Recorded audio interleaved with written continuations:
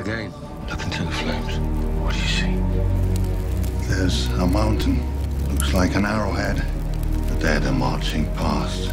Thousands of them. Cersei thinks the army of the dead is nothing but a story. What if we prove her wrong? Bring one of these things down to King's Landing and show her the truth. We're soldiers. We have to know what we're fighting for.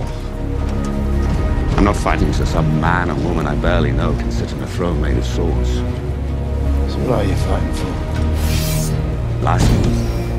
I'm the shield that guards the realms of men.